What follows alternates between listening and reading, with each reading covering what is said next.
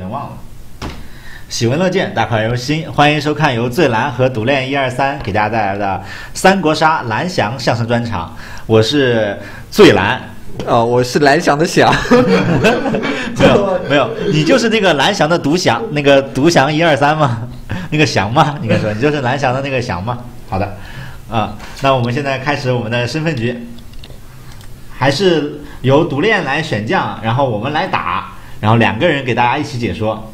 嗯昨天忠诚是很多，而且昨天我们把那个看牌堆的技能给稍微展露了一下，这只是我们的冰山一角。今天有更多的能力展现给你们看。其实我非常担心，说前面我们发功了，今天的功力下降。我这边我们昨天起手也是在八号位的忠诚是周瑜，预示着说有一个好的开端。嗯，今天我们可以选一个黄盖，呃，你确定？呃，可以选老黄盖，你有勇气的话。那那我们还是交给这个好了。你要熟一点，你就选借黄盖。啊。哦，好，反面，那我们只能选借黄盖了。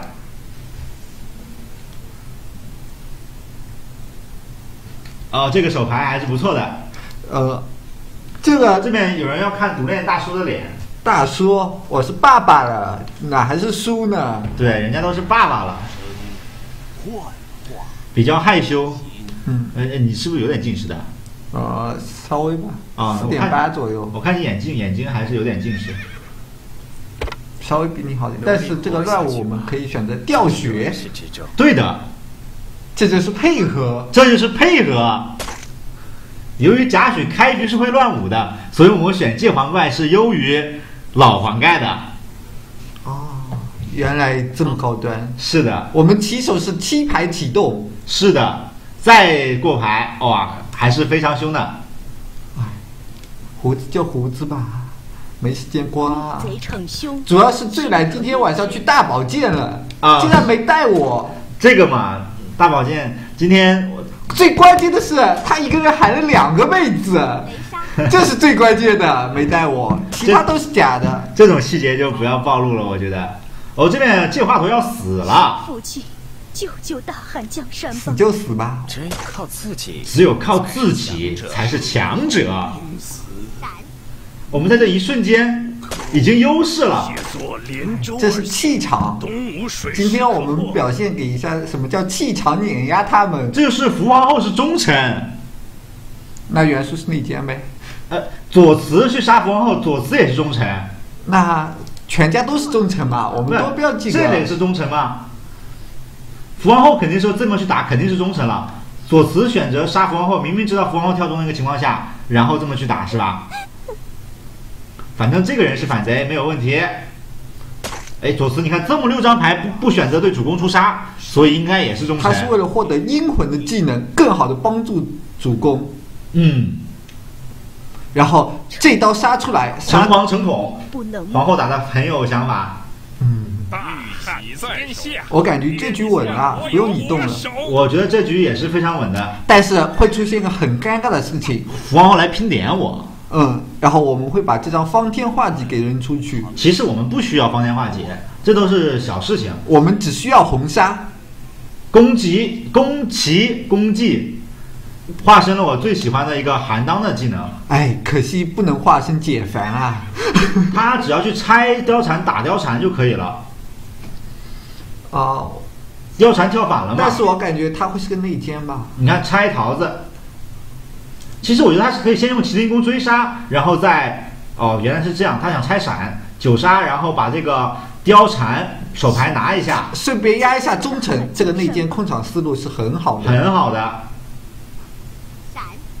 可是人家有闪的，但是我觉得在在黄盖启动，貂蝉还是一个必死无疑的，因为我只要把貂蝉杀到两血，贾诩拿一张杀就够了。哦，那边化成了个奸雄，这面有这面程普的话，可能这个时候会出九，那我觉得伏王后其实可以考虑去拼点一下，啊，拼了点还是能出九的。他不想让他出牌，只有这种程度嘛？但是出牌他就跳了个忠诚，还是让他出吧。哦，是吗？那就是说，在贾诩主这么一个风这么伟大的一个主公的情况下，区域淫威了已经。对所有人都选择跳中，你他呃，你知道为什么都要跳中吗？因为贾诩主流行七中打法。不是，因为我们选了八号位的借黄盖，哦，这边有一张乐不思蜀但是我们有无懈可击呢。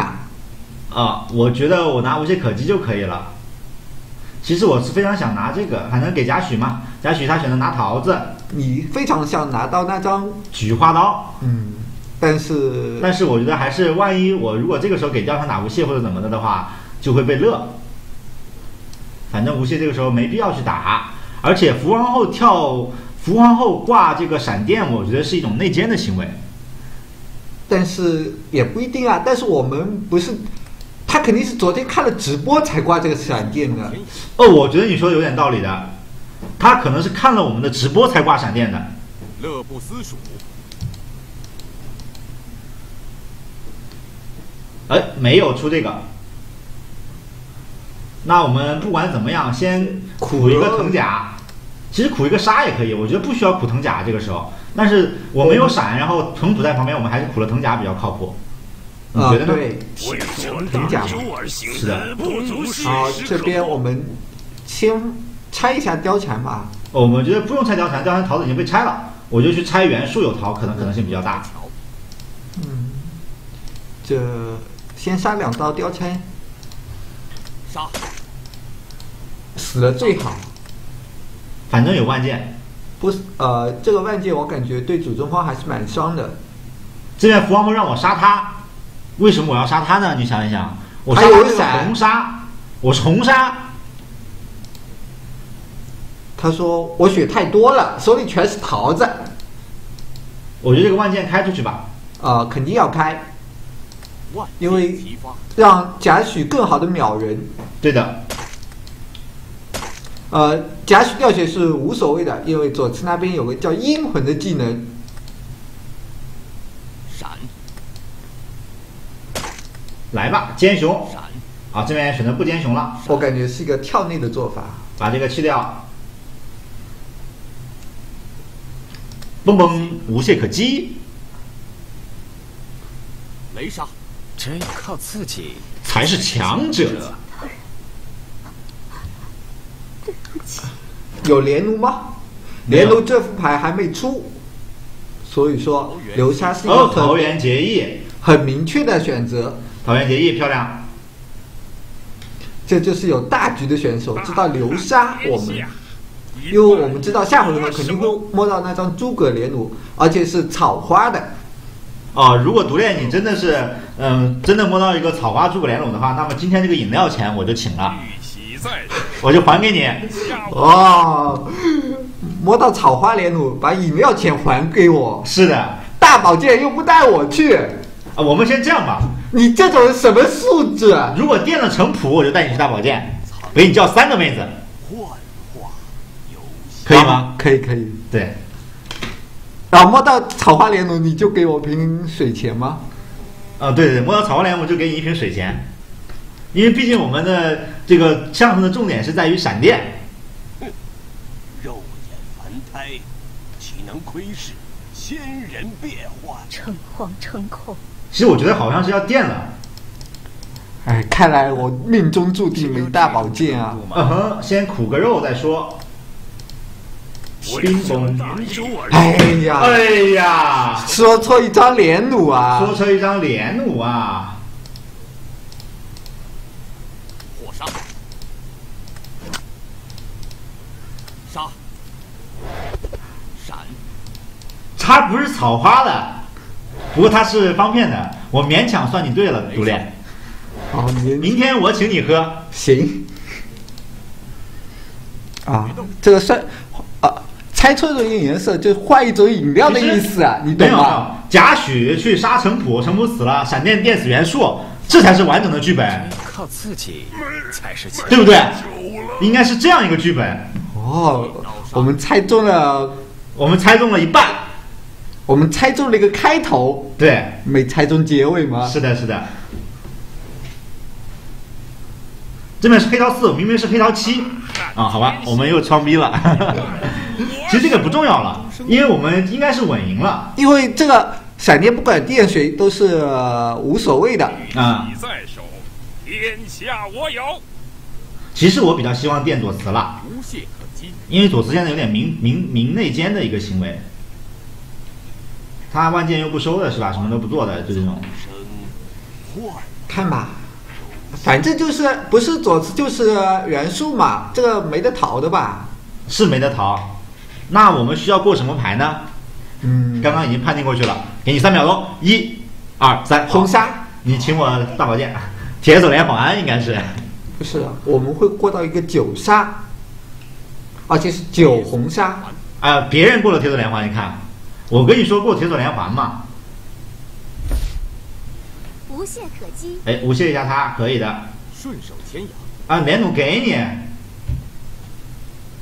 他不顺闪电，我觉得是个很大的失误。然后他挂出来一个张角的技能只要这种九程度吗？再摸一张杀，我感觉这是很轻松的事情啊。我觉得这好像也挺轻松的啊。哦，我感觉是有点轻松啊。哎，反正先火攻一下好了。火攻，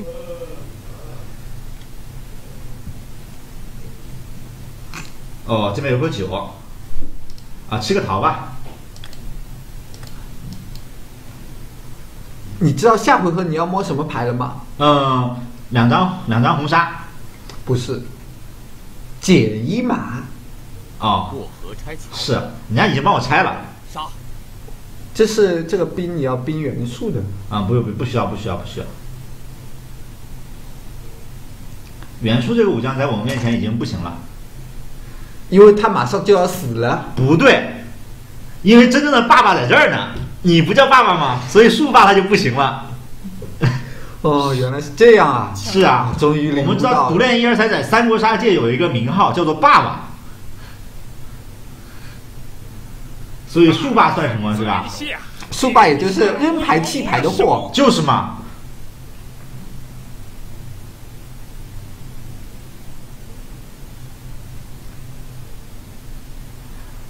那这边打一打，只要坠孔珠吧，皇后。皇后选择不坠孔没关系。其实我有一点怂了，直播到现在，闪电已经挂了 N 次，好像没有电过我。不是，所以人在知道为什么有点怂吗？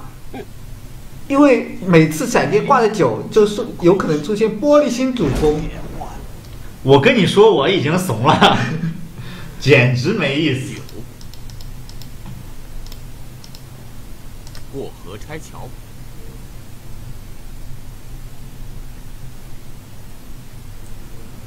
我们把人网盾拆了，冰一下。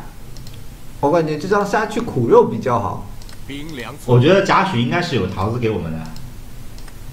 未成大义，死不足惜。皇后也要有啊，哦，那没办法，那没办法，敬重托，尽人事听天命了。尽人事听天命但是还最关键最关键是什么吗？还有一张草花连弩没出，啊！是，所以说为什么要苦肉？就是我们苦到草花连弩，可能就是杀两下，什么左慈主攻一顺，我们连弩就推平了。哦，有道理，有道理。隔墙有耳。主要是主中方就是除了黄盖过了桃之外，其他人好像都没有过桃。毕竟过牌能力差了很多啊毕。竟过牌能力差一些。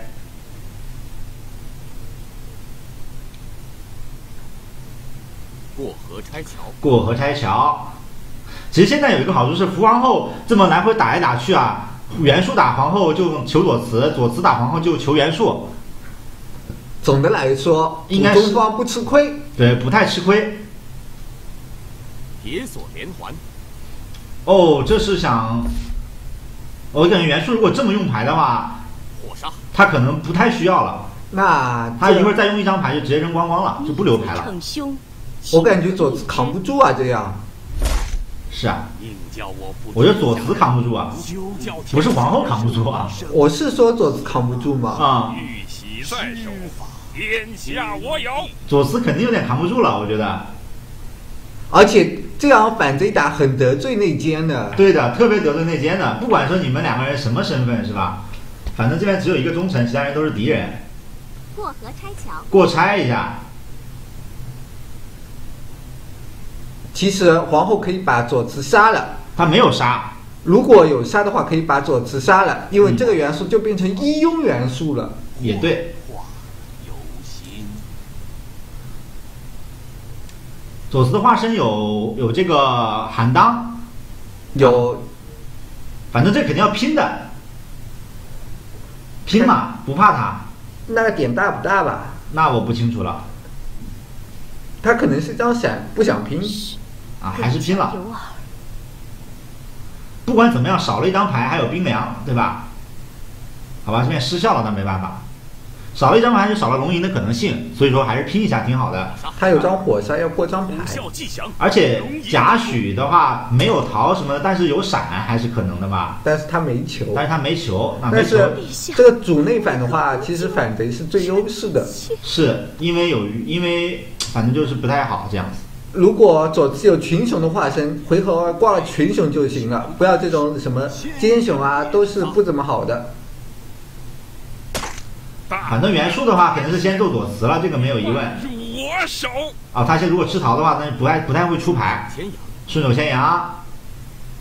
袁术有点想一打二的节奏，是啊，左慈一定要挂个群雄的，如果刷出来的话。火攻，哦，这肯定是想一打二了。毕竟主公还是有这这本。身这两张牌也要丢了，为什么不去送这张？就是肯定要打出去的这张牌，他本身已经要弃光了嘛。叫我负天下人，无休叫天下人负我。啊，这边决斗不敢打，因为是一张明杀。岂能窥视？也不错吧，看看龙吟吧。这边呢就是左慈的话，可以去火夹血，看龙吟嘛。反正、哦反正现在是没有桃子的虎啸吉祥，我感觉啊，他火火攻丢了。如果火攻丢了的话，那么贾诩不会受到威胁。那速霸肯定死了，因为把火攻这样的牌都扔了。对，树霸肯定是死了。无中生有，但是，嗯、目前左慈是没有看到距离的。呃，只要不吃起桃子来说，这主公还是有点希望的。应该问题不大，问题不大，问题肯定不大。割我。但是你看，他把藤甲都龙吟掉了，有八卦阵，藤甲和八卦阵其实都是没有用的。因为有青钢剑。对的，但是我更喜呃喜欢藤甲一点。其实我们没有注意到，嗯有一个问题没，不知道注没注意，南蛮入侵还没有出来不是扔了，啊啊，好吧，他出来了。那我以为贾诩续报了，原来是左慈出来了，好吧？你说这局买大还是买小？这局肯定贾诩赢啊！哎，藤甲的威力就体现出来了，让你扔藤甲啊，雷杀靠自己。才是强者，哎，这左慈穿个藤甲，这局就稳了。所以还是跟之前我们昨天开局一样，先打一个八号位漂亮的忠臣获胜，然后再来打一些反贼。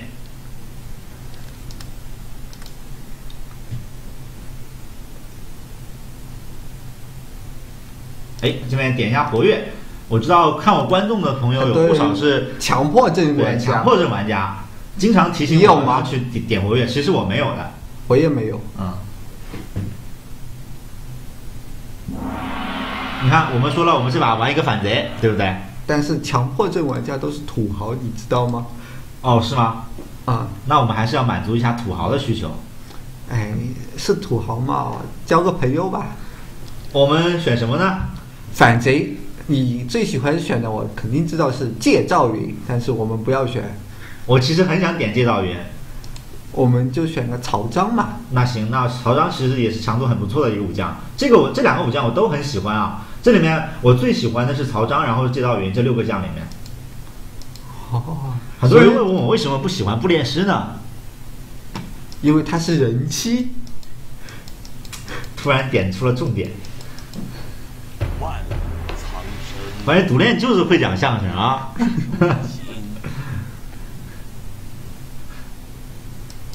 是的，我是萝莉控。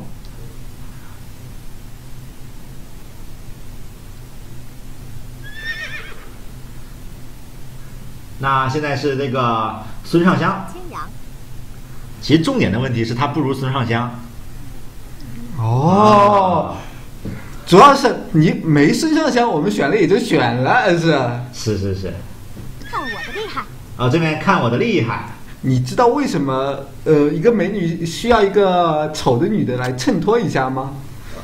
不知道这样有对比吧。哦，乐不思蜀，乐不思蜀，看一下孙尚香好像非常想去杀孙策一刀的样子。哎，但是门神特别呃，最近特别喜欢那种孙尚香的 cosplayer，哦，没有没没有吧？有吗？肯定有啊。昨天做梦的时候你说了忘记了？哦，忘记了忘记了。昨天我在床上可不是这么说的。嗯，借刀杀人，啊，借刀杀人。这边左慈是属于一个跳反的一个行为啊，杀，黑杀。那么呃，我感觉有可能是荀彧、孙权中，那就很难打了。我觉得不难打吧，荀彧、孙权中对我们来说的话还是很容易打的。但是你们反贼将面不强啊。其实我比较关心的华佗是谁？肉华佗对，主流内华佗上四大内奸，你知道只要华？佗这样一个控场将是我们的人的话，就很好打。online 上四大主流内，啊，这边看他打谁啊？这跳中了，没问题。对我们来说肯定是不是好消息。其实不管他嘛，我们昨天给大家讲过，孙策主也可以直接推的。抽丝哦，这边跳了一个忠臣，那就很烦了。那那没关系，我们一起就是一个思路打华佗好了。看看吕布吧，那就是孙权内嘛，其实，吕布跳个反的话，还是真的蛮难打的。嗯，没事，吕布吕布他只要拿拿一个酒出来，虽然两口酒已经被我喝了。其实我们等会儿可以降之一一下，我们去杀一刀左慈。啊哈，有道理哦。雷杀，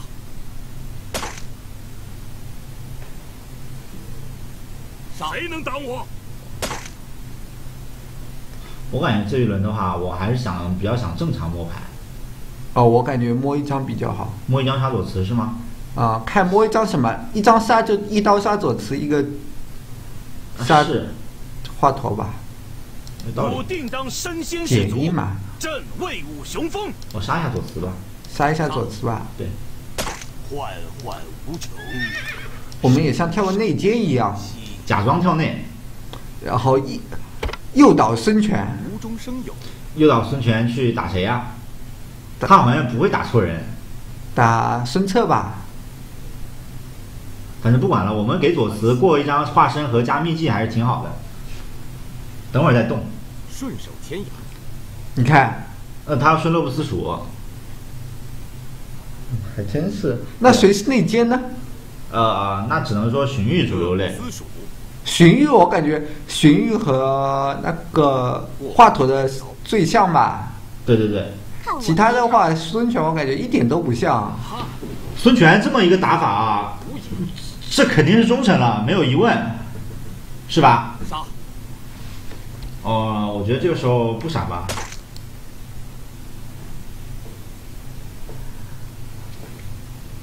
就是我讲的嘛，孙权那个时候肯定不会打错的，但是我们帮左慈过一个身份还是挺好的，过一个化身加上一个技能。因为毕竟反贼现在其实感觉是处于劣势的一方嘛，呃孙尚香其实可以尝试着去跟他拼一波，有无懈的话可以不拼。因为因为孙策里一张一张红杀还没有打嘛，那如果把这张红杀拼掉还挺好的，而且六张牌也不一定是有那么多，而两个人都是六张牌，我觉得完全是可以拼的。你看孙策为了保红杀，所以说他就只能掉一滴血，吾乃江东小闪孙伯想给他看，对吧？那如果这样的话，其实说合适的时候打死华佗之后，我们可以考虑直接打孙策。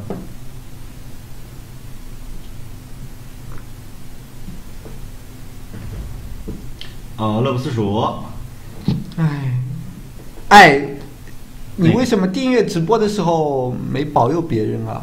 哪个？起码你的队友应该是全天过的嘛，不是超人家十倍的关心吗？啊，这个这个这个，这个今天不太灵，有两张乐就够了嘛。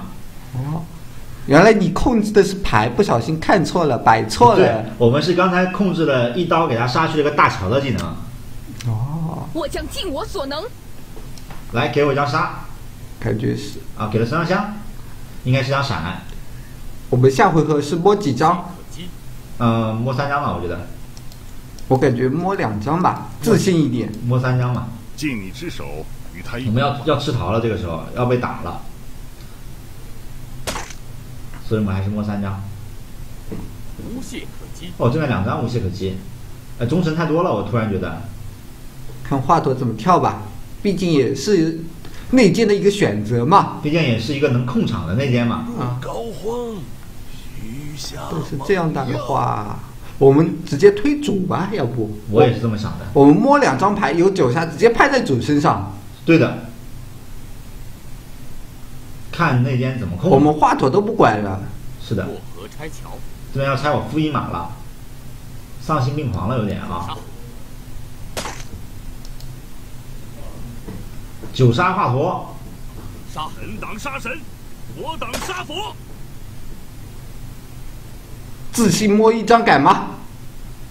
敢，那就摸一张嘛，那就摸一张打主攻，摸一张打主攻。那就摸一张打主攻。我们看看观众的反应，给观众五秒钟的时间，同意就打一，我们还有个加时，要不要点一下？啊，没事儿，最后点嘛。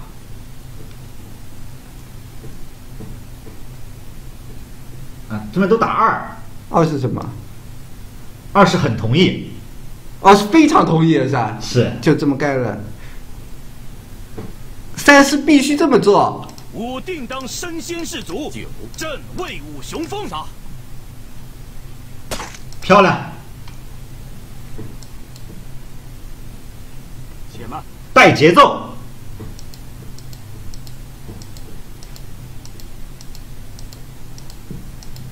事有事急，人家是肯定不会闪的。哦，这边一张红杀，不在杀，魂佑江东。反正这样的，孙策这回合看我们要拿肯定过牌，一会儿我们再摸一张杀，前面把闪给逼掉，再九杀，决一死战。我们每回合可以摸一张杀嘛？对，杀江东子弟，何惧于天下？觉醒其实不用怕嘛。其实不怕了，我们只需要他一血过，我们只需要打他，打死他就可以了。这个华佗是没青囊的，不要怕。对的，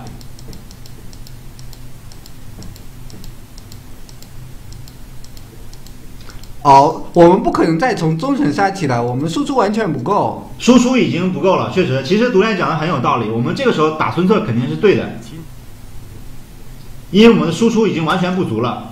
那左慈这个时候也肯定是卖血，卖最大的牌给到我这里。大兴施法，秉忠贞之志，守你看荀彧主流内就跳了呀，那我们就秒主公就很有希望了呀。哎，毕竟主流内嘛，毕竟主流内嘛，对不对？这一下希望不就有了吗这不？就有了吗？左慈秘技四张牌给到曹彰这里，孙尚香三张牌启动加两张牌，五张牌，秒孙策不是简单的吗？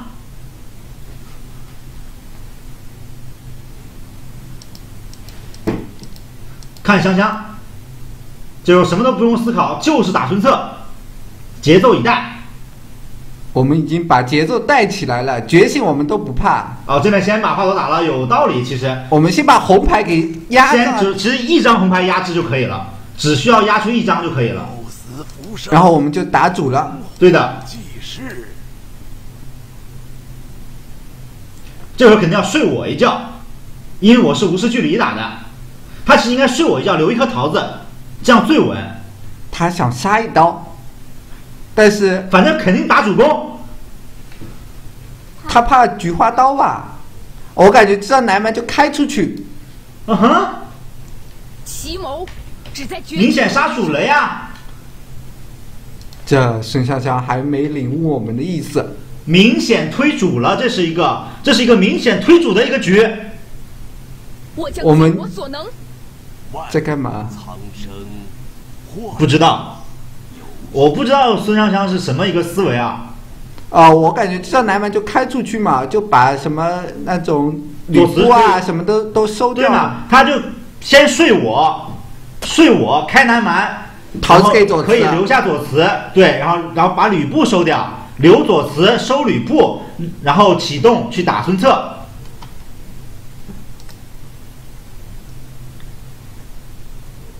生老病死，啊，这边吃桃了，九杀看杀谁吧他，杀我，他应该杀我，他不敢的，因为你牌太多。闪，那好吧。那其实如果吕布杀荀彧的话，我们就直接九杀荀彧也挺好的。我定当身先士卒，这个九杀荀彧吗？九杀荀彧啊。我感觉没必要吧。呃，其实刚才那个时候给换了个那个哎，托管了就杀嘛。杀，闪，杀嘛。啊，我们是红杀嘛，最主要的是。嗯。哎，托管的好处就体现出来了。屌屌的。本来我们还在犹豫杀谁，然后孙策就指明了个方向来干我吧。没事，其实孙尚香其实打的那一轮是有问题的，他留的又不是桃子，这样牌是肯定不留的。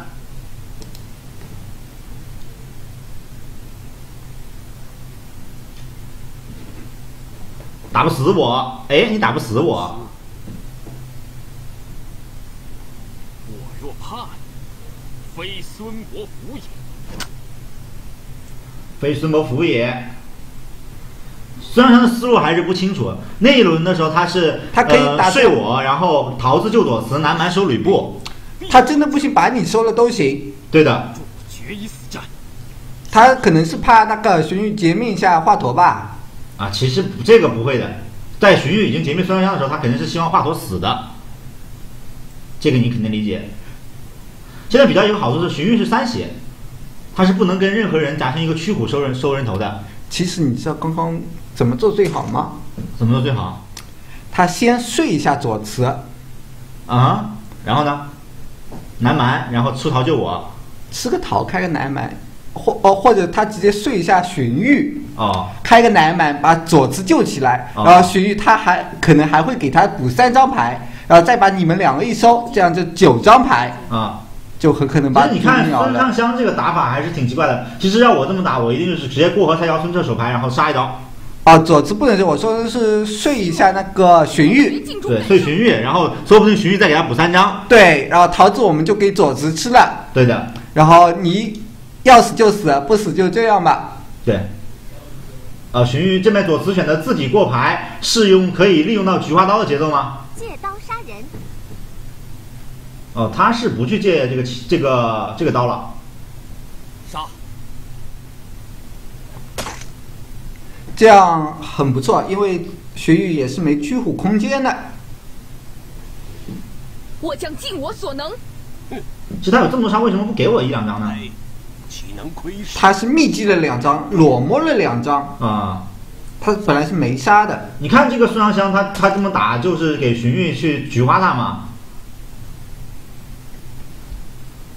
然后我们这边其实摸一张，然后把孙尚香收了。新士卒，朕魏武雄风。过河拆桥。我们是把加一码拆了比较好。无懈可击，无懈可击。我们最终还是要去打打孙策的。其实孙尚香好几次机会都是可以直接带走孙策的，他打的非常有问题。他他可能是一个定路人局的定式思路。嗯，很多人都说群内局有定式思路，就是大家都有吧，有可能。群内可能是一个选将定式，然后路人可能是一个打法定式。其实我们观众跟跟随我们这么打下来，发现孙尚香两次的严重失误才导致反贼不能够杀死孙策，本身是很容易就把孙策给打死打死了，非常容易。在那一轮南蛮桃子和杀的那样一个抉择上，绝对是非常大的一个失误。他选择了稳，他可能是砍到了人数的优势。其实说，其实说我们不需要选择稳。相反，我们去杀孙策就是最稳的做法，因为你会不断的把桃子给逼出来，然后我们不断的进攻，这说明了进攻才是最好的防守。对的。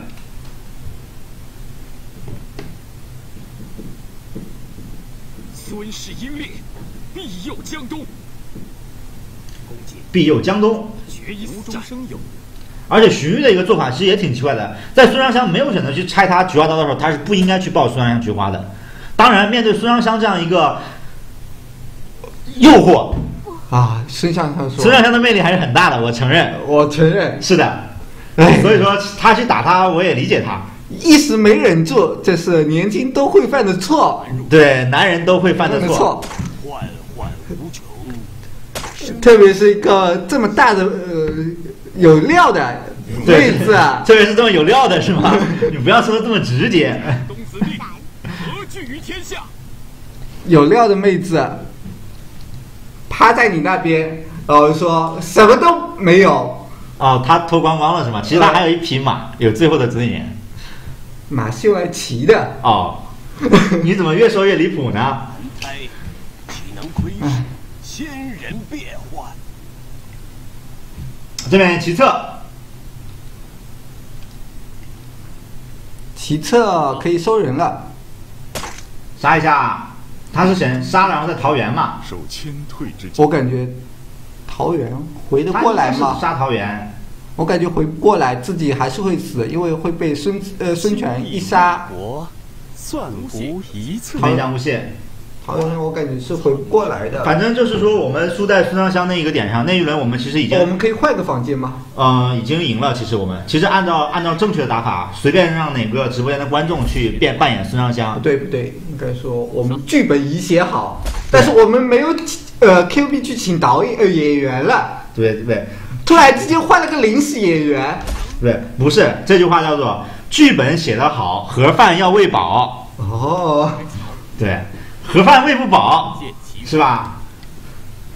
剧本也瞎写呃白写。不不不对，一定要押韵，叫做呃，剧本写得好，盒饭要喂饱，盒饭盒饭喂不饱，呃，盒饭喂不饱哦，不说了啊，交给 交给更多的观众了。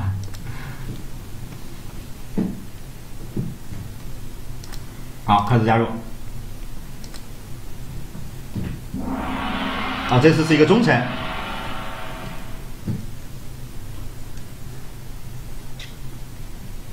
我我们可以选个什么？叫盒饭喂不饱，再也不能屌。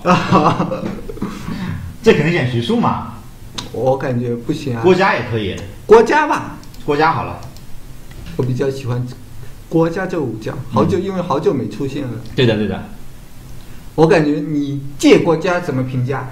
借郭嘉他这个武将，如果是在打一个团队模式里，还是很有用的，就是他能够给四排，如果是联动的话，啊，借国家我感觉就有点像新王毅的，因为新王毅和国家都是把自己的牌给出去，啊对对对，虽然说及时性可能差一点，但是可以给到一个，你可以把自己，因为没什么人打你，你可以把队友需要的牌给留下来。对的，但是袁绍这个主攻是需要及时性的主攻，那就没办法了。是的，进退自如，策马驱前，战敌当心。嗯，这相声真把我真心说服了，我们已经成功收收编一位粉丝，人都啊，借赵云其实可以当忠臣的，因为他的牙角也能过牌的。我感觉万箭齐发给他吧，然后留一张闪就好了，对吧？是不是？可以呃留一张吧。对，留一张好了。然后我们等会儿尝试着去卖最后一次血，让最后主公没什么牌的时候。我们就卖出最后一血。没有，这个时候我们先就这个时候还是如果他射，可能还是可以再卖一次血的，哦，我感觉闪了吧，卖一次吧。我闪吧觉得这个时候可以卖一次。闪吧，喊你闪，喊你闪。这只是什。么？呃，剧本战舞，呃，不对，什么？不说了。其实，其实我其实我觉得说万箭齐发其实是一个信号，你明明白吗？不是啊，我不是万箭齐发是一个信号，我留了一张牌，万箭齐发给过去，意思是说那个啊，其实我理解错了，他已经放出信号了。如果开万箭就说明没逃了。对啊，对，就是如果他开出的是两张花色用乱七不发万箭的话，他是说明说我还有牌可以给你卖，就相当于在我们在在打比赛的时候通过一张牌来传递信息，就是打最后一张牌嘛。比如说，嗯，我给了一给了你一张一张杀，对吧？我给过你的，王毅给过你的，那么你这张明杀不打，我就我就知道你永远有这样一张杀。那我给过万箭过去，他打了万箭，其实是告诉我他没有桃子了。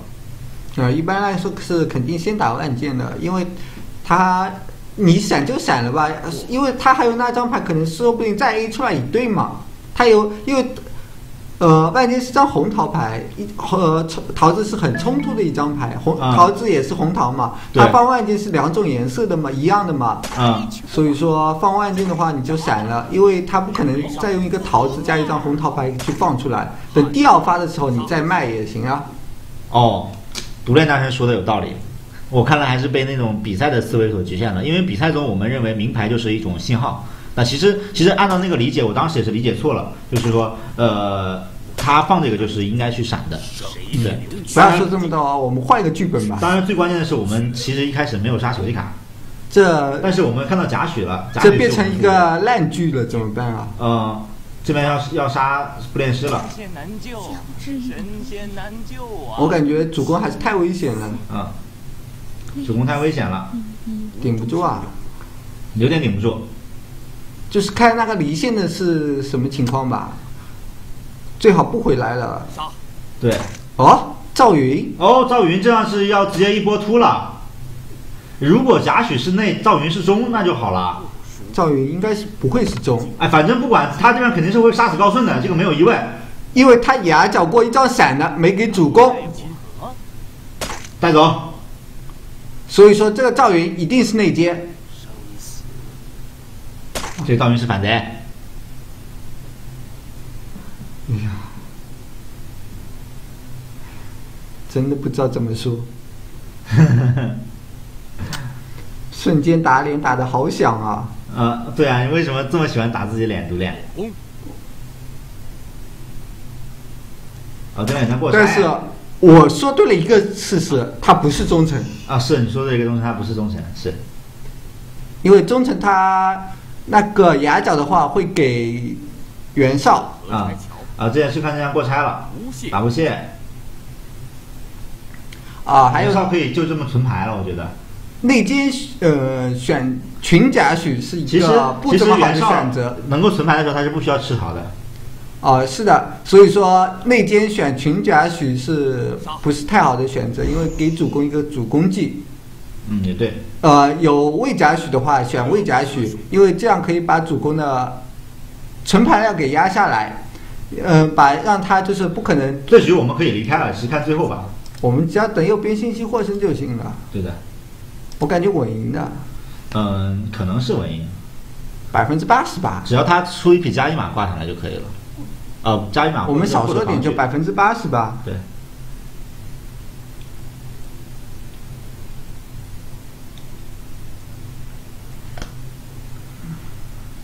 好，我们继续来打。这一次我们是内奸，不知道晨晨在不在？啊，没事，啊，我们反正录录像了嘛。录像不做算的。录像不做算，他一定要直播吗？是的，是的。事后直播你扒开的技巧了。哦，好吧。哦，我们这个说的有点累，喝一瓶水。今天赞助我们的是冰露机能水。还有广告，有收入吗？啊，琛琛说我们不理他。呃，我们看一下选什么？我们来选个虞姬吧。虞姬是吗？啊，老虞姬。老虞姬。嗯，你确定吗？确定。好，那我们就玩一下。其实其实很久没有玩过了。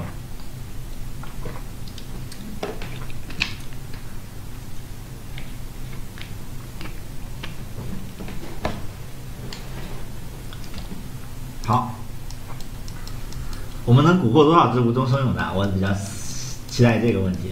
我感觉啊，一个都蛊惑不了，我觉得三张没有问题。因为第一下张春华就会质疑了。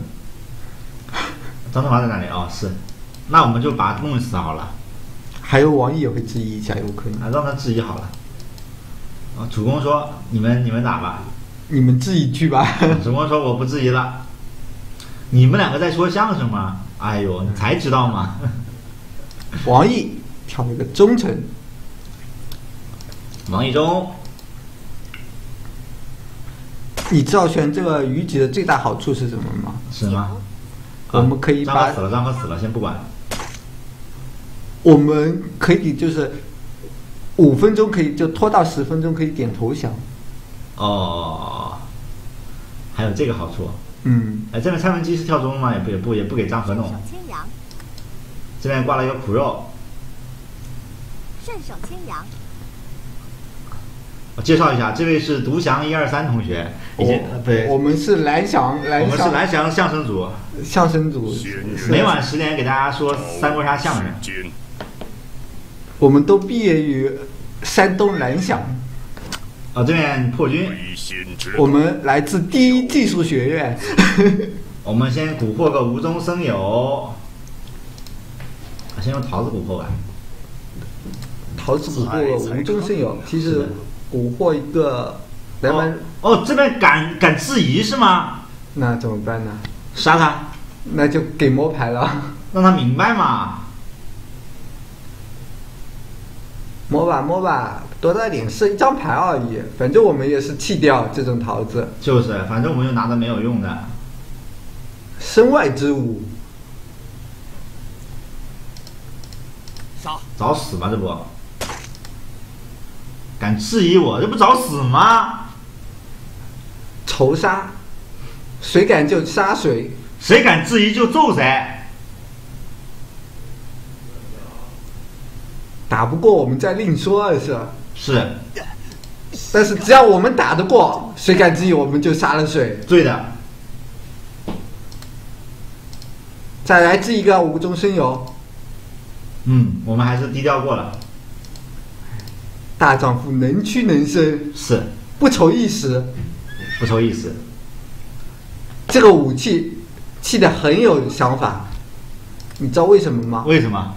因为有荀彧在，啊哈，万一什么再摸个简易嘛，你一带，然后张春华一死，就屈虎可以让你吃菜了。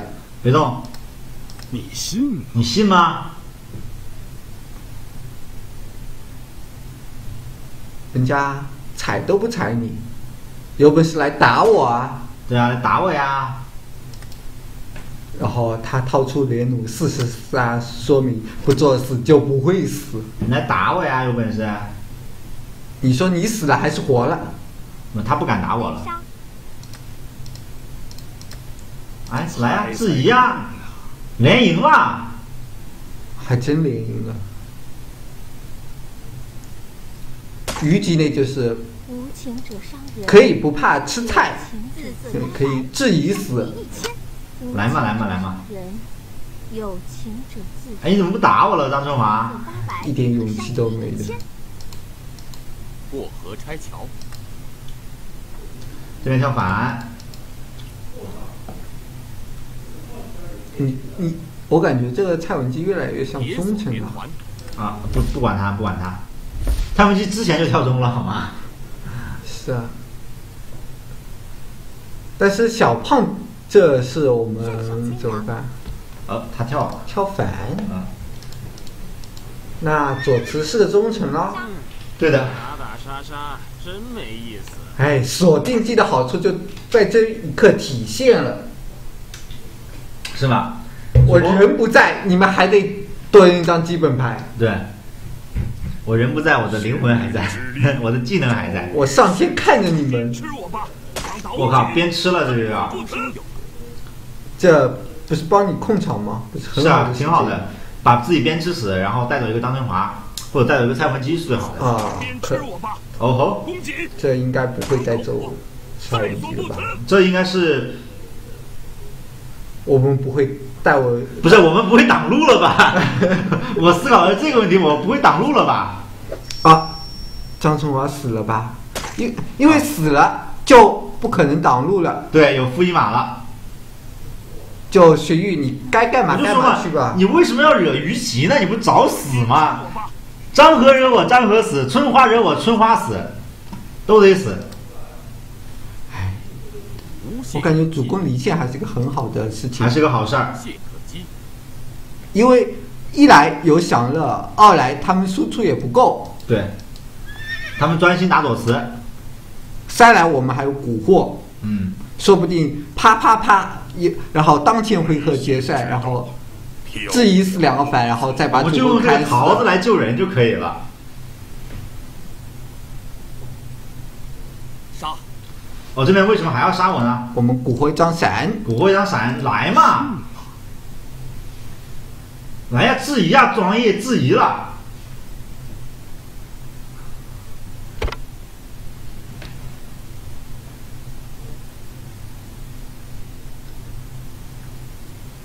其实我们现在非常需要给荀彧找一个距离，所以说需要开一张叫五谷丰登牌，但是王毅一定会质疑，对，杀！因为王毅你是忠诚的话，王毅掉血了，我们注意王毅掉血了，王毅可能会给我牌，因为我打还是比较中的。奇谋只在我感绝境觉不会中诞生。嗯，我打的比较中应，该给自己。给我。啊，好吧，他是个自私的人。之力昭于世间。就看杀！魔杖 A O E 吧。万金出了没啊？万金还没出，可以蛊惑一下。嗯，这边他拿我们可以拿一张五谷丰登。啊，对，我觉得我觉得我们拿个五谷丰登挺好的。嗯，这样也表明了内奸的立场。对，好，但是借可击，啊，这边无懈可击给他没关系，这边要九杀了。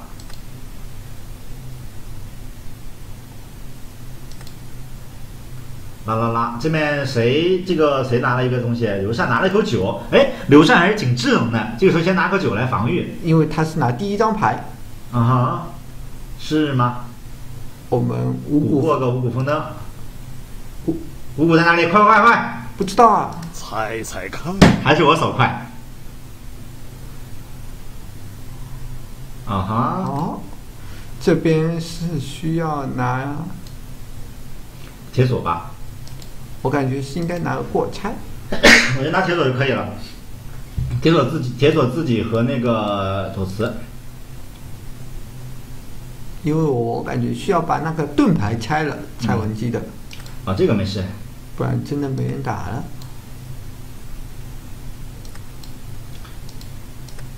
在蛊惑嘛，用这张去蛊惑好了。别蛊惑哎我中反正也是五谷丰登嘛。反正本身他们摸一张也是五谷风灯。啊，但是你摸不了了。啊没事没事。荀彧质疑嘛，质疑我就打他嘛。现在问题来了，刘禅回来了，啊，问题来了，刘禅回来了是吗？无中生有，五谷丰登，五谷丰登，猜猜看，是一样。啊，这个这个这个荀彧找死。啊这个蔡文姬也找死。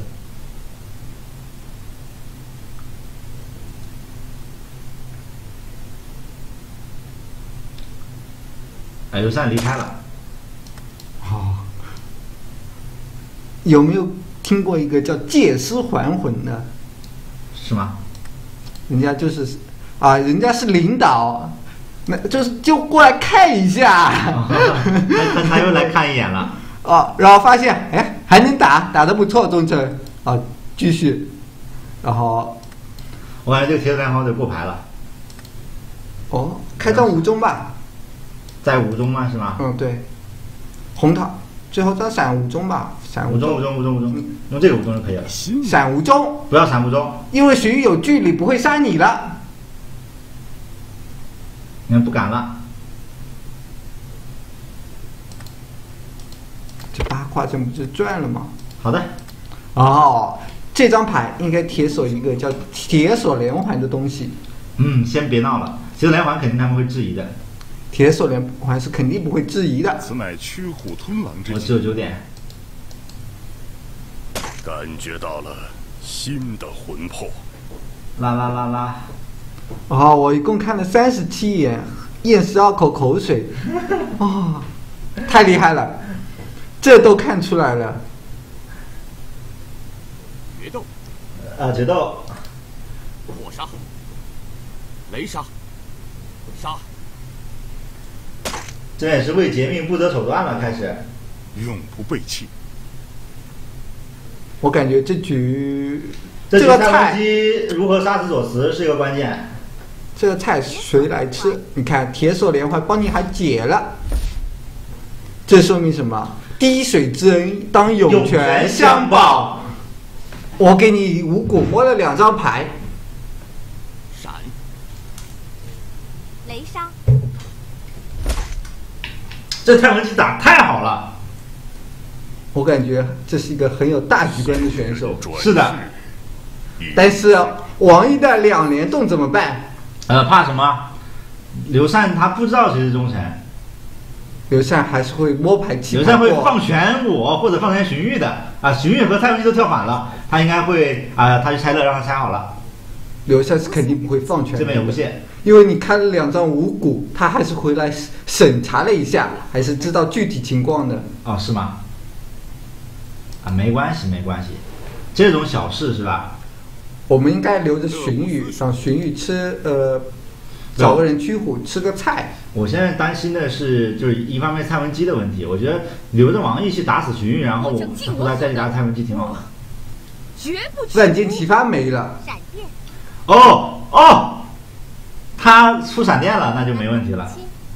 无懈可击。哦，我直接无懈自己好了，呃，直接无懈比较无懈好，可击，直接无懈比较好。我还不想掉血，杀！掉血了。雷杀！过河拆桥哎桥，，最后他去杀蔡文姬了，好评好评。哦，这为什么拆武器呢？哦，他看来还是不想不想杀蔡文姬，那还不想死？他想杀我，来嘛，来嘛，少年人家还是不想杀你。哦啊、我将尽我所能。我绝不屈服。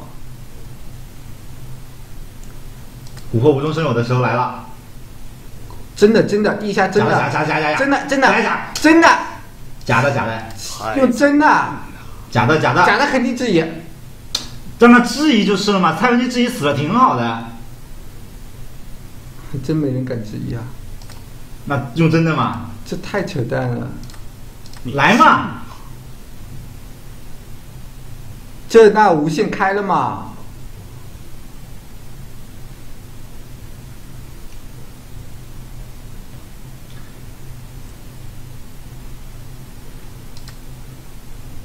无限开嘛。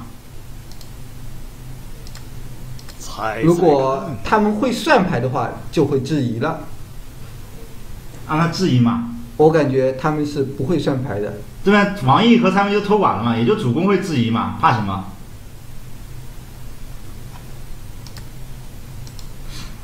嗯，怎么办呢？这怎么办？南蛮入侵，结束吧。我们假装自己有很多桃子就可以了。其实我觉得，我感觉可以直呃直接南蛮入侵，把菜也吃了吧。我不要吃菜，我感觉多吃点素的还是很有南蛮来了价值的。呃，因为没出南蛮入侵嘛，蛊惑一张有可能是真牌的牌嘛。不怕不怕。闪！反正闪电在我们面前不值一提。冠师傅出了吗？我记得还没出啊。他们这边会放王毅电死他吗？啊、我感觉有可能。是吗？你懂那样的王？哎，但是他这叫铁手连环为什么不用啊？嗯，他他不喜欢铁索连环嘛？他说电视两个太没挑战了。点错了，点错了，点错了，快点点一下，哎，好吧。我这时候其实我们前面有很多牌嘛，我可以去蛊惑无懈可击了。杀，嗯，好红啊！王一到两血了，就有可能敢质疑了。对，绝不屈服，我将尽我所能。我要找铁索连环了。我要打无懈了。我现在首先我要做的是就是蛊惑个无懈可击。过河拆桥，你信吗？哦，这边质疑了，居然因为他凉血了，哦不怕质疑死了。是吗？对，好，没关系，让他猜。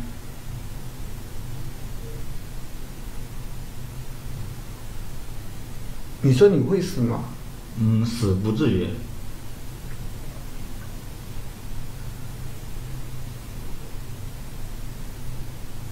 奇谋，只在绝境中诞生。这是肯定没杀，王毅是敢杀你的。他没杀。找铁索，啊，铁索真的直接连起来就行了，不用质疑。但是这样的话蔡文姬怎么办？蔡文姬让主公去杀呀。无懈可击，主公不可能杀的，想多了，过了吧。啊？他荀彧打无限，你不要太急。感我不着急，我不着急，我这个时候应该是过过就可以了。啊、我感觉你铁索都可以稍微晚一回合。他看一下怎么打吧。其实店主攻挺好的，电主攻而且不呃电主攻不好，电主攻不能觉醒。如果主攻觉醒的话就蛮好了，就是电了直接觉醒的话，那个效果还是不错的。是吗？我说就是不呃电了不觉醒嘛，对啊，我觉得但是医学的话还是很危险的。对，我就说其实电主公挺好，电主公王毅就不会来打我了，现在王毅有可能打我。我将尽我所能。啊，尽我所能，拜拜。他怎么不手抖呢？人为什么这个人就不手抖？人家没得帕金森综合症。像我有多动症的小孩，就说不定就啪啪点两下。其实效果是一张黑桃二换成一张黑桃五，哎呀，好疼啊！这这王毅太装逼了。判一下，凄凄漂亮异乡客，冷我就不闪了，让让这个蔡文姬来帮我判。慢慢判吧。对，慢慢判嘛。杀，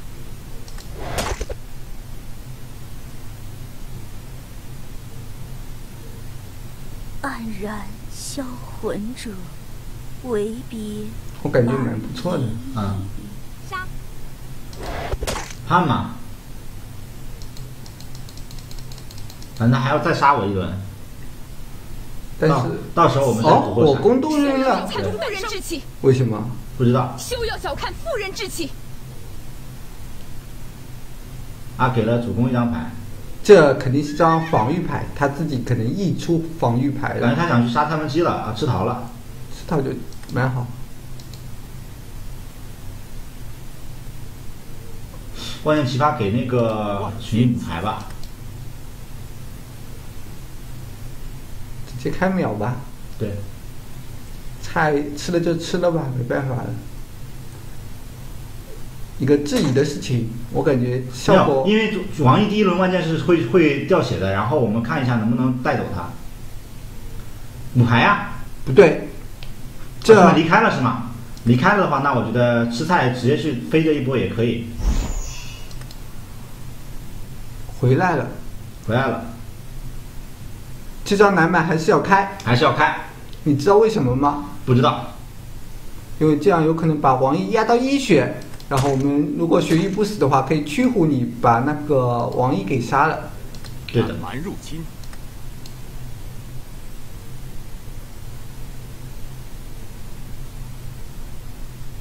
现在我比较是收人头，其实也挺好的，收人头啊，收都收过来，都收过来，都收好了。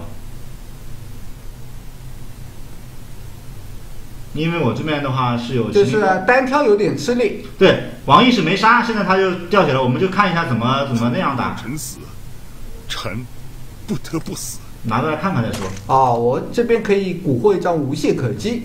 先不蛊惑了。娇颜如花，面如叶，哦，开两张无中生有损，看双开出来什么吧。断尽肠。是桃子，你为什么拿不到那张冠师傅呢？不知道杀，有单挑，估计没，还能有逃。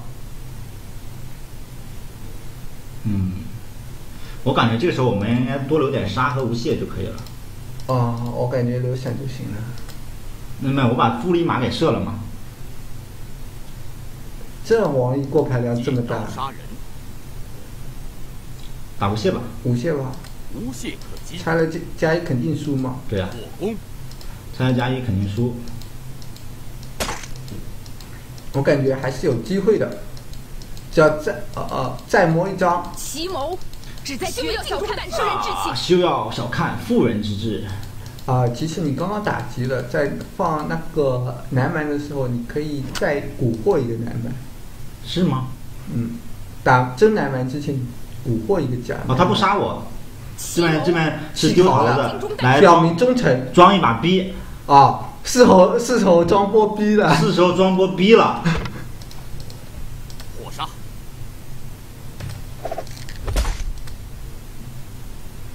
忠义已尽，哦，哦，何妨？过河拆桥，无懈可击。哦，最后输了，你要说一句什么话？我们找闪电就可以了，我觉得这个时候啊人在做，天在看，最后苍天饶过谁？饶过谁？让你装逼，饶过谁？乐不思蜀，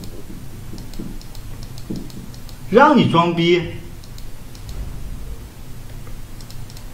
我们留个闪吧。呃，留九就可以了。火沙已经没了，扇子也没了。我们之前自己打了两张火杀，扇子也扔掉了。然后一个传说中的火攻，而且我们可以尝尝试会去尝尝试有机会去九杀，你明白吗？我感觉单杀吧，单杀吧慢慢模式，对的，因为我们有装备优势。对的。而且有闪，我可以防决斗这种牌。乐不思蜀，我爸爸是刘备，在九杀找机会。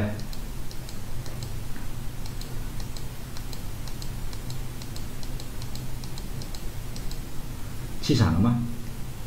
没闪，留无懈还是留九呢？无懈啊，啊？你确定吗？肯定留无懈的。是吗？反正无懈可以防一切东西，对吧？那倒是真的。最主要的是决斗没突然拿出个距离怎么办？决斗没出几张啊。对，决斗没出。闪电不挂了，挂挂挂！我们怕什么？闪电，我们是什么？我们是控闪电的人。但是我们今今天第一局中了闪电，这个风向不好，哎呦，打一张无懈就可以了呀。我还是看风水的。金，杀，打打杀杀，真没再见了。我是算命先生，说什么？说什么？我跟你说，进单挑我就说我要靠闪电赢，啊，厉害厉害！所以说，对吧？说什么？哎，琛琛呐，在这里他已经打出了很多的省略号，不降还不行吗？内奸赢了怎么办？怎么办？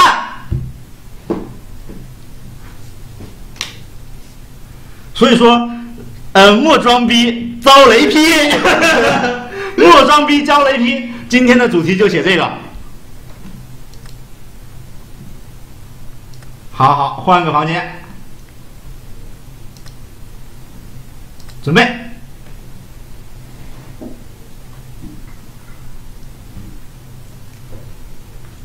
啊，其实大家去看我们最新的，目前我们已经有三期叫做蓝翔相声专场，大家就可以看看由蓝翔给大家带来的三国杀解说，绝逼让你亮眼。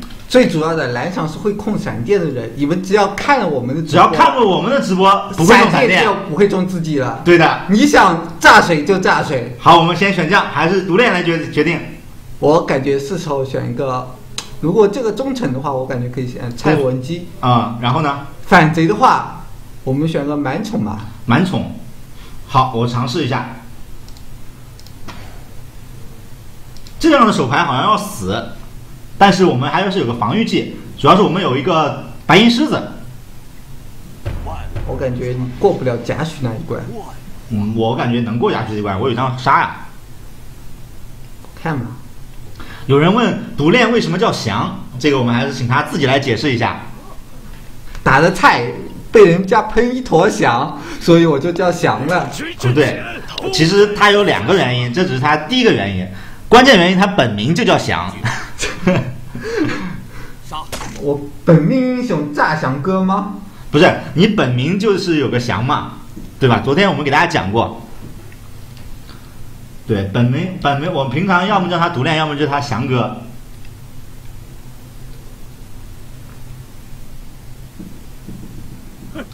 没想到吧怎？么感觉这局又赢了呢？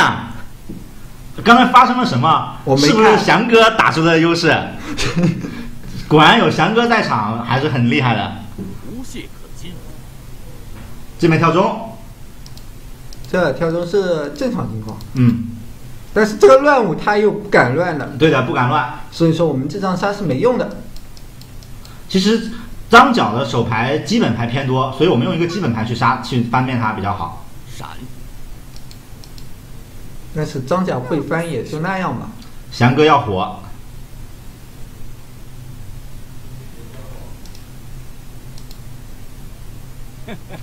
还是 乱了。我为什么觉得我这个时候杀邓艾好一点？我也感觉杀邓艾好一点，说不定他有张闪就囤一个田，有距离，还能囤田，对吧？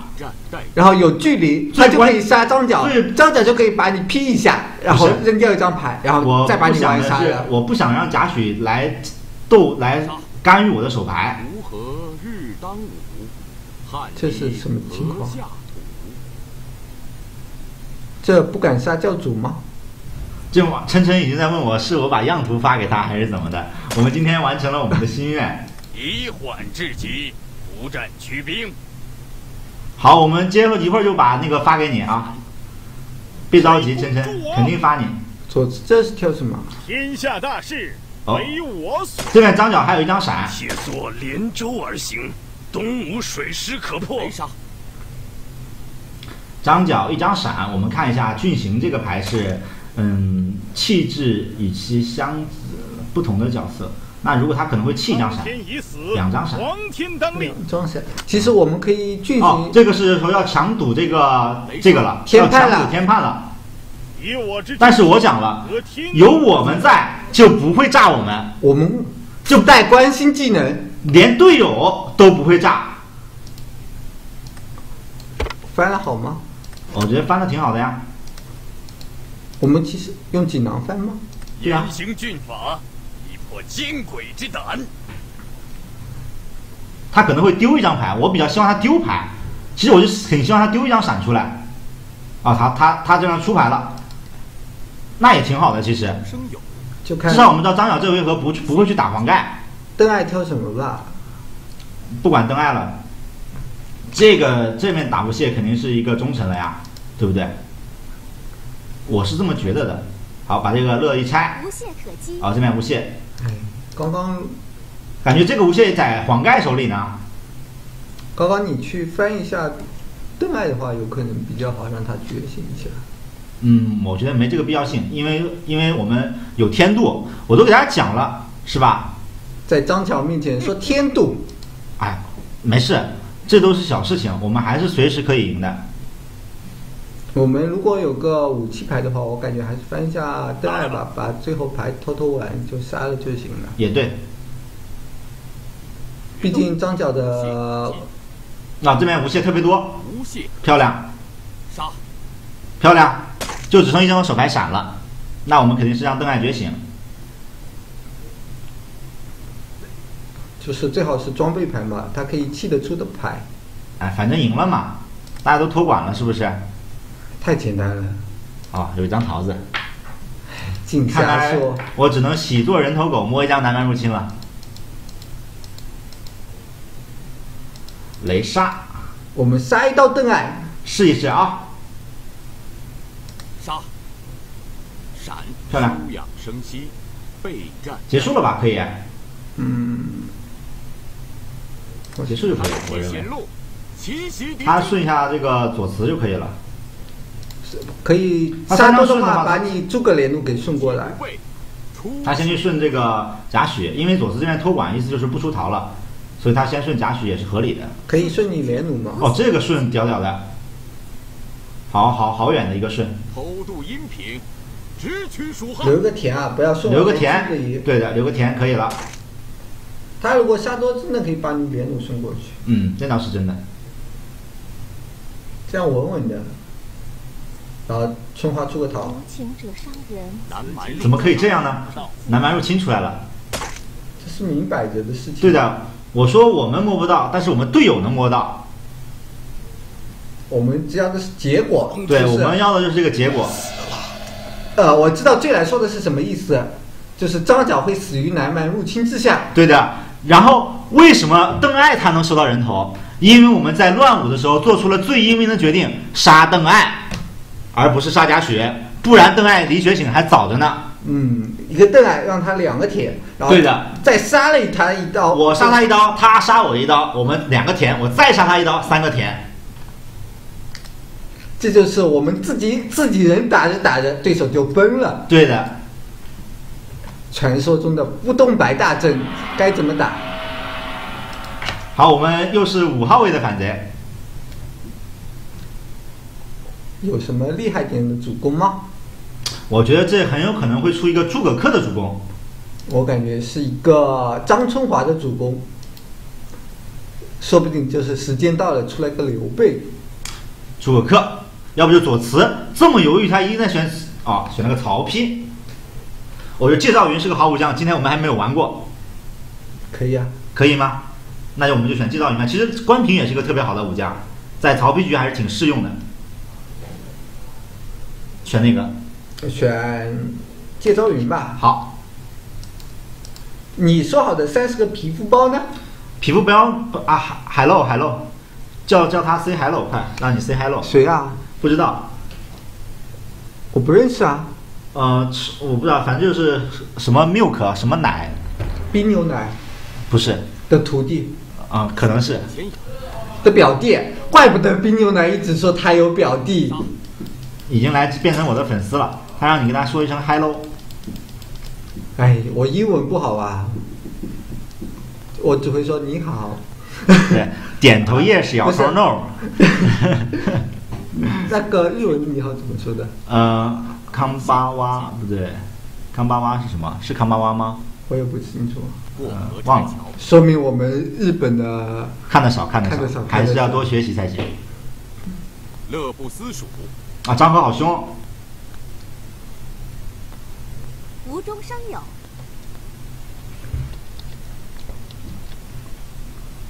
决斗。漂亮。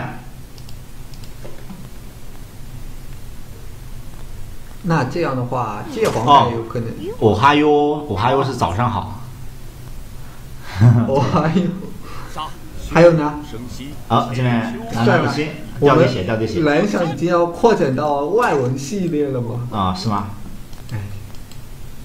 铁索连舟而行，东这入水黄盖好厉害啊！这黄盖好厉害啊雷！杀口尼基蛙啊，但是这口都尼基蛙是口尼基蛙。这都不是事，我们的无中生有会开出来一张叫乐不思蜀的，还有这张无懈可击的。雷杀，不需要，你的。我们只需要随便打打曹丕就赢了。我觉得这一局。闪电，哦，我们已经赢了，看到没有？无中生有。虽然已经挂闪电了，我怎么感觉这个时候可以开一张南蛮入侵去压曹丕血线呢？不用，我感觉吃个桃挂个藤甲就行了。我觉得这个应该开的，我感觉是不应该开的，因为因为因为曹丕他是有乐不思蜀，我觉得这个开才好，而且还可以压黄盖一点血。不是因为剑马超特别像一个反贼，很容易被黄盖打死。嗯，这个是小事。无懈我感觉可击。这个事情很大，啊，这边张春华为什么要无懈曹丕呢？看来我们的思路出现了问题。所以说这张南蛮入侵，南蛮入侵为什么叫神牌？为什么？因为收队友的时候特别好用。你现在不再收队友，为什么要用这张南蛮入侵呢？哦，那我就吃他吃他过吧。这种就是看见队友残血就适合放出南蛮队。友都满血的时候就不用放了。其实我觉得不是特别重要，特别是这这种对呃别人对方一血的时候，这张南蛮因为因为因为为什么？因为我觉得张合和张春华带的一个思路都是打曹丕的思路，我觉得应该配合队友的思路。我感觉应该是稳一回合。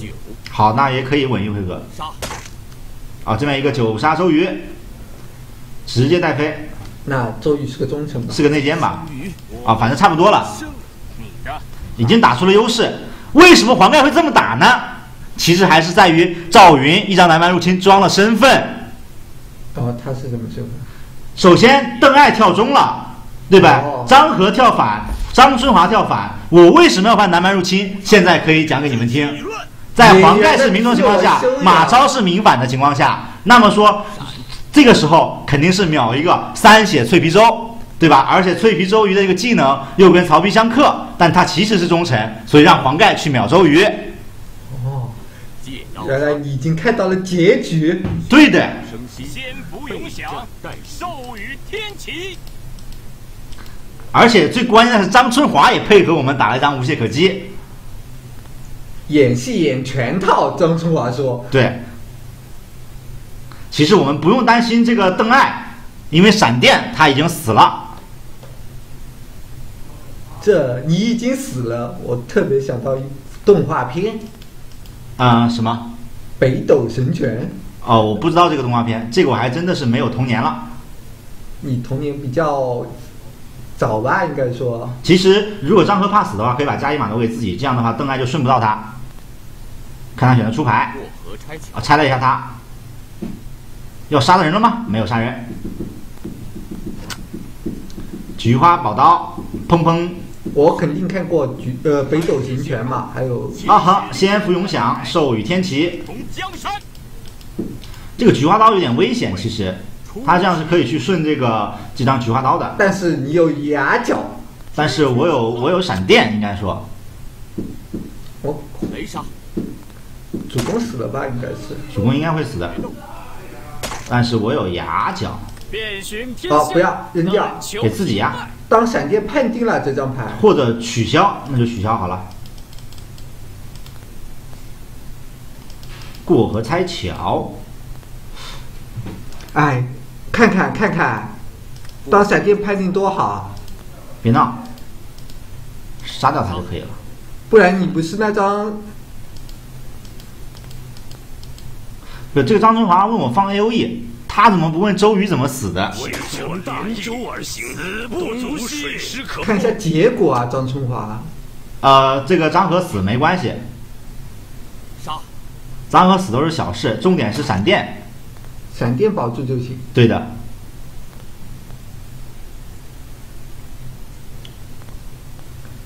看来这两位玩家一定没有看过我们的直播。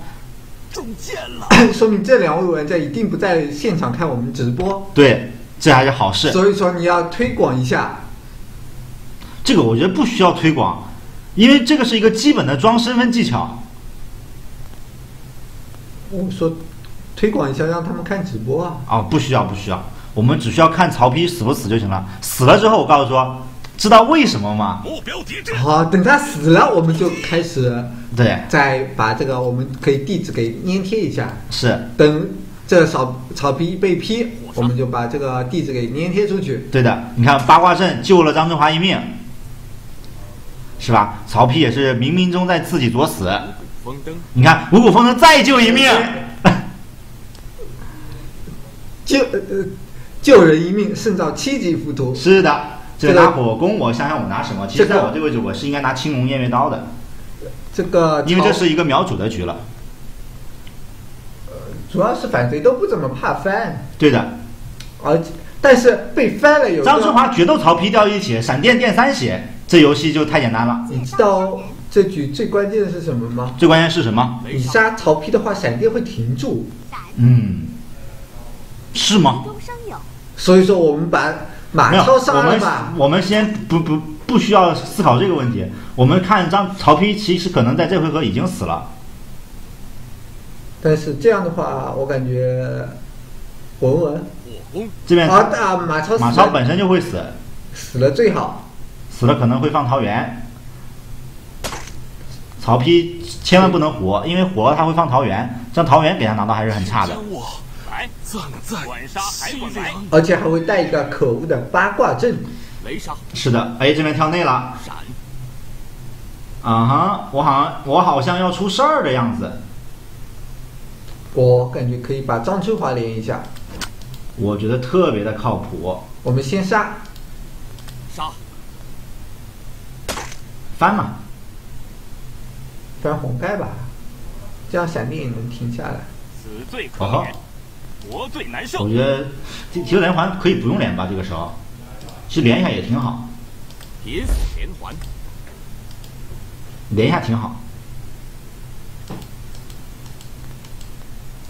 不管是谁啊，不管是谁，反正一会儿曹丕这个时候没电，闪电停张春华，一会儿先从张春华开电，增大这个闪电的概率就可以了。反正这个主公肯定要吃一个电，对，肯定要吃电，这是翻黄盖找输出的节奏。这是中，这是内。给我翻过来，这是为什么翻内呢？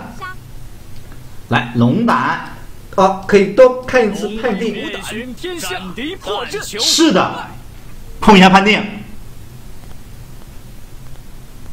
你是什么？把他把一个黑桃十弃掉了吗？杀我呀！杀，红杀，红砂，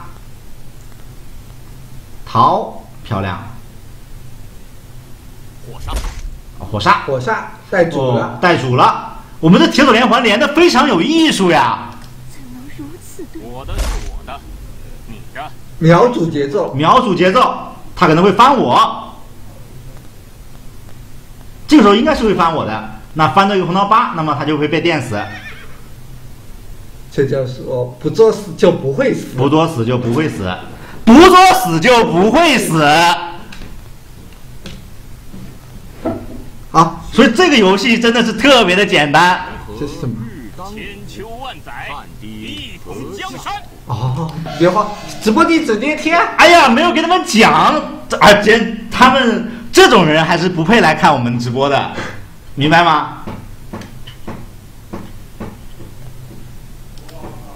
所以说，在他们不懂得这个真谛的情况下，我们要保持这种功力，不能把这个秘密告诉他们。啊，给看你们看直播的知道了就行了。对的，毕竟大家都知道的话，这个游戏还是很难玩的。，对，这游戏大家都知道了这样一个秘密，就特别难玩了。好，我们看一下七号位置的反贼选谁呢？反贼选潘璋马忠吧。好，那我们就选潘璋马忠。不作死就不会死。我们之前想的这个问题，这个今天的标题是什么来着？哦，莫装逼遭雷劈。对对对，对我们还是以这个命名比较好。无中生有，好，我们看这个皇后，嗯，看一下这个皇后。因为皇后如果掉了血，有可能给我们一个距离的。我们先看一下皇后的身份。我们发现一个叫做硬性指标的一个玩家，非非常有意识，非常的有意识。物还要但是皇后跳了个忠臣，嗯，心转愁。攻无不克，这边一个陷阵，还去仁安乐，五谷丰登，五谷丰登。反正他没有拼主攻嘛，好多桃啊！嗯，桃子比较多但。是那个位置在前面挑一中的情况下，他还是开了这张五谷丰登。我们想想，我们拿什么牌？拿一张闪好了。我们杀挺多了，我们对吧？拿杀，为什么？因为我们要给鲁肃一张闪，确定吗？确定。那独练大神这么说，我就相信独练大神。哦，原来鲁肃跳了个忠臣，他也拿了一张杀。那么我们这样就是给鲁肃一个跳身份的机会。我觉得也不一定，因为这边他是可以把这个地盟走的，什么地门走？把这个孙权的牌。闪了是吧？对逞凶，卿可灭之。哦，这样一个顷可灭之。但是他自己不要命。哦，又翻面了。愿望可以办。这也是中，这也是中。其实姜维这个位置比较像中啊，所以我认为鲁肃还是比较像反贼的。这个这个蔡文姬应该是一颗桃子，被拼了吧？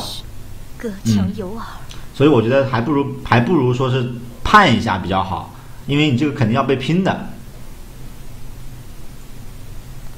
看太史慈吧。看太史慈吧，我当要替天行道。替天行道，哦，是个反贼，是个反贼。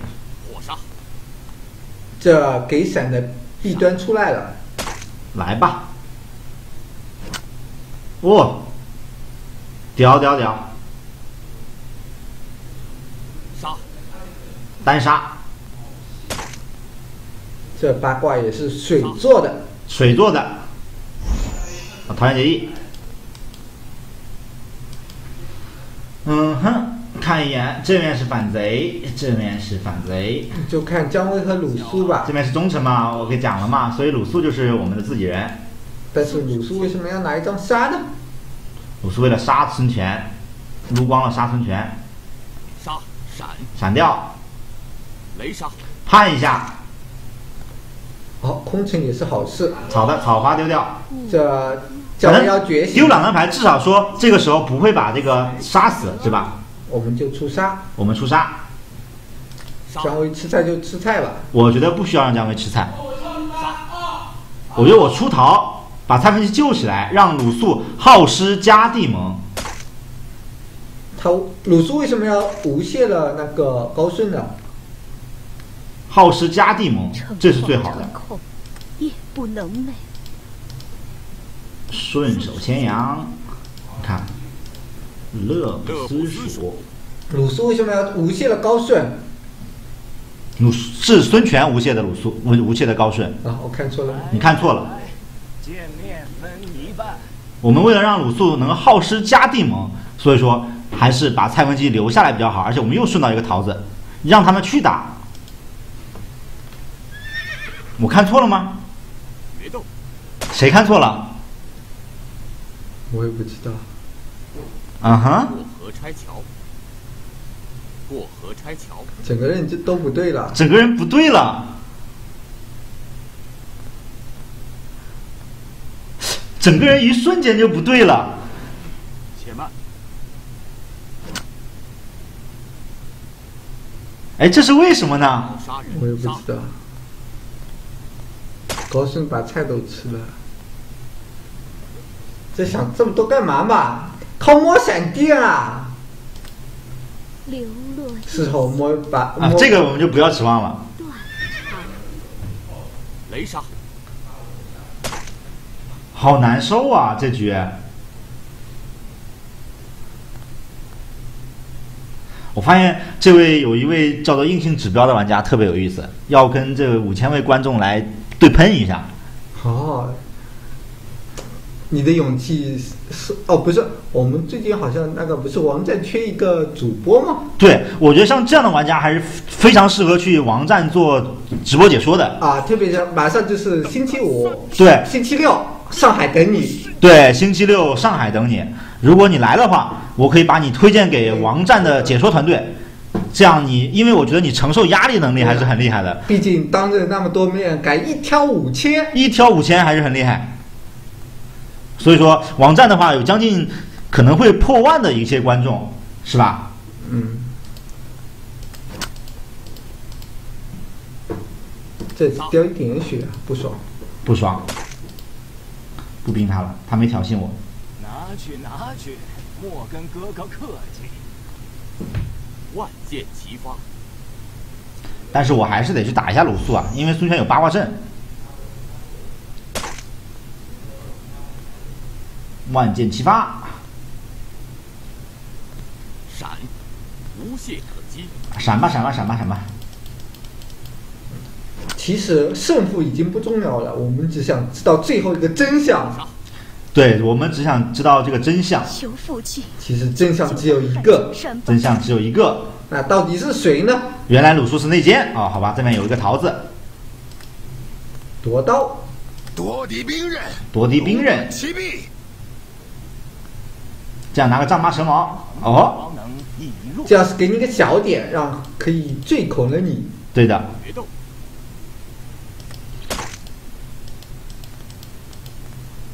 容我三思。坠恐。杀。